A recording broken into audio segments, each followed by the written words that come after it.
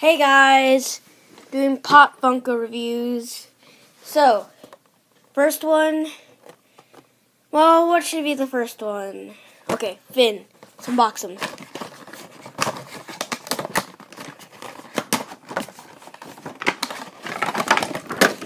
Alright, I already kind of unboxed these, but I just put them back. Here's Finn. BB 8. Well, out.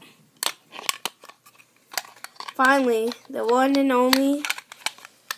Well, hold on, right? The one and only Dalek.